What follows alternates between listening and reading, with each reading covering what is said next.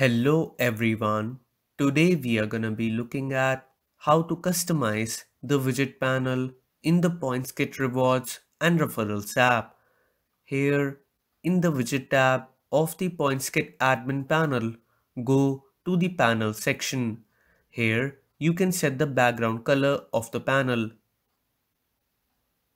You can customize the corners of the panel. After this, you can also set the width and height of the widget panel. Finally, click on Save.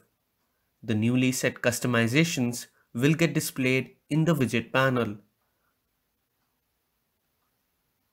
And that's it. Thank you.